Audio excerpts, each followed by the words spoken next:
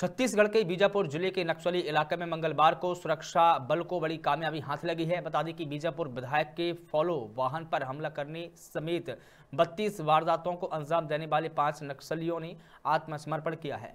नक्सलियों ने भेदभावपूर्ण व्यवहार से परेशान होकर बीजापुर पुलिस के सामने आत्मसमर्पण कर दिया है। आत्मसमर्पण और नक्सलियों में गंगूलूर और भैरमगढ़ एरिया कमेटी के मिलिशिया कमांडर समेत डिप्टी कमांडर मिलिशिया सदस्य और जीआरडी के सदस्य हैं। आत्मसमर्पित नक्सलियों को शासन की आत्मसमर्पण और पुनर्वास नीति के तहत पच्चीस हज़ार रुपये की नगद प्रोत्साहन राशि दी गई है।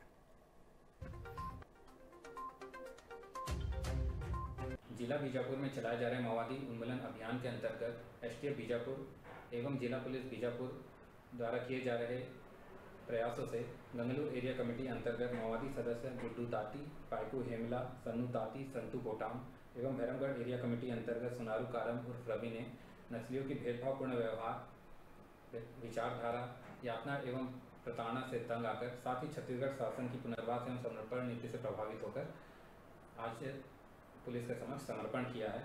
इनमें जो संतु कोटाम है 2021 से वो बटालियन की बटालियन नंबर वन की कम्युनिकेशन टीम का सदस्य भी रह चुका है। उसने भी आज समर्पण किया।